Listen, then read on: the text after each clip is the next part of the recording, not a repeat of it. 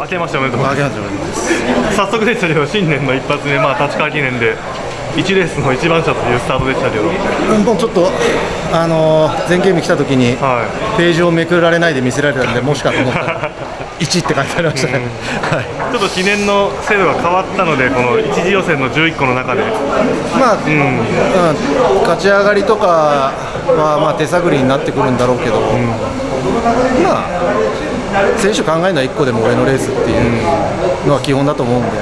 まあ今までと変わらず1着目指して走るだけですその中でまあ立川の特性というかまあ冬の立川、走り方ちょっと難しいかなっていうのも感じますけど。まあ、ちょっと前回から積極的ねっていうのを心がけて踏んでて、まあ、初日もちょっとそこ考えたんですけどちょっと打ち詰まったりはあって仕掛け遅れたんですけど、まあ、結果立川だから届いてくれたっていうのですかね。いまあ、去年がある意味こう復活のこう足がかりになる1年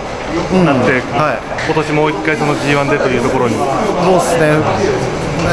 G1 で、まあ、決勝にとか戻りたいっていう一心で去年やってたんですけど、もういまいち届かなかったんで、また今年はきっちりそこの目標だけを考えながら、結果出していきたいです。もちろんこの立川記念で最高のスタートにして初日から。そうですね、もうもちろん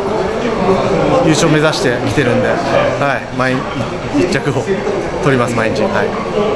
えー今年取材に来れる本数をできる増やせるように我々も構えて待ってるんで、一着増えてきてるんで、はい、大丈夫だと思います。なのであの明日以降頑張って。はい、ありがとうございます。